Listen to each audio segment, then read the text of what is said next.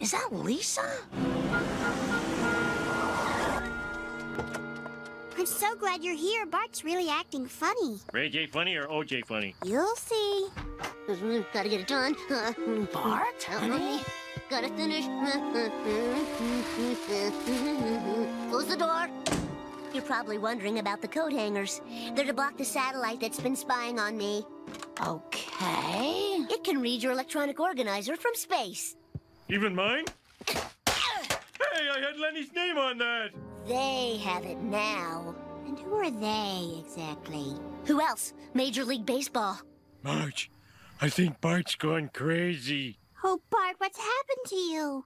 Nothing yet, but the time draws near. Now let's get those fillings out of you. Ah! Hey, you found my needle nose pliers.